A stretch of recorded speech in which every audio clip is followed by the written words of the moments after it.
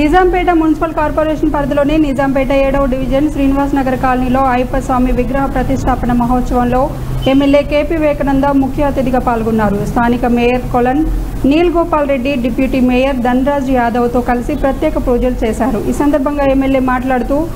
ఆధ్యాత్మిక చింతనతో మానసిక ప్రశాంతత చేకూరుతుందన్నారు